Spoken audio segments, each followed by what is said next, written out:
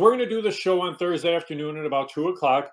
We're going to talk about the upcoming Derby preps, but we're putting it on Hawthorne's YouTube channel so people can go back and take a look leading up to those races each and every Saturday. Just a chance to analyze the races a little bit, but also a chance to give everybody a head start on our spring stakes showdown at Hawthorne. And this is a little bit different contest, Cap. It's 20 stakes races each and every weekend, and it's not going to be limited just to the Derby preps, but you're going to get a mythical $20 win place wager.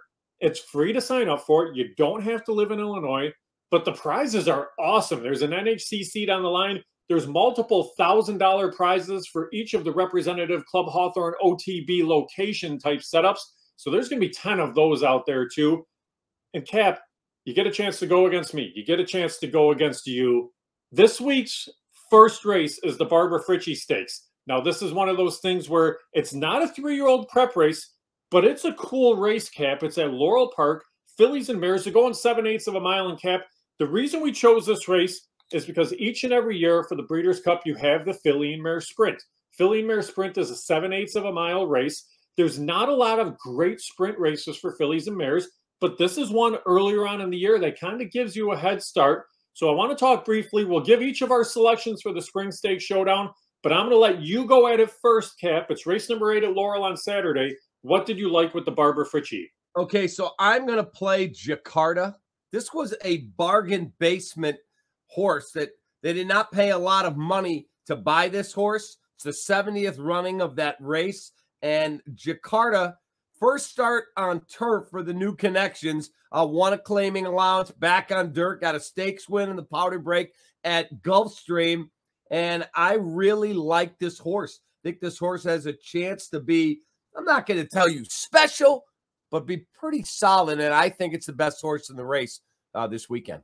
That's going to be your play. And here's the thing it's a nine time winner for nearing half a million dollars. Horse surpasses half a million with a win in this race. Has raced at the distance three times, does have a win. The one thing for me with Jakarta, it's going to be the first start at Laurel Park. So that was the only reason that I wasn't too sure about it. But at the same time, there's some that have run here at Laurel, some that haven't. I went with a horse that also did not race at Laurel Park.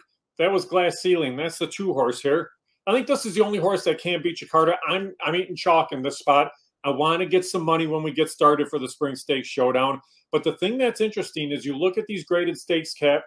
You can't race on Lasix in a graded stake. So you have to look at how horses have performed without Lasix.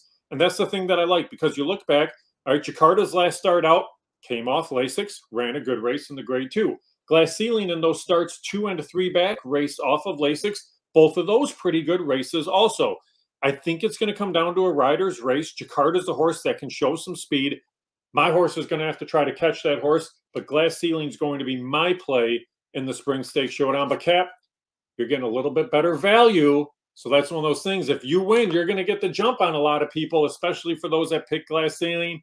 And I know you like prices, my friend. And, and Glass Ceiling was a $40,000 claimer. It's not yep. like this horse had – you know, Sheik's bidding millions of dollars against this horse. Glass Ceiling is very good in the slop, too. Uh, the last race that I watched of Glass Ceiling was the Garland of Roses yep. and won it in the slop. This horse has uh, got a lot of good qualities about it. There's a lot of good qualities. I love when a rider is willing to travel with a horse because then he thinks that horse is good enough. So Dylan Davis, the regular jock for this horse for the last uh, five starts, goes with Glass Ceiling again. That's one thing that I really like. But Jakarta gets a guy, and Victor Carrasco is very familiar with the Laurel Park track. So, Cap, we'll see how things unfold there.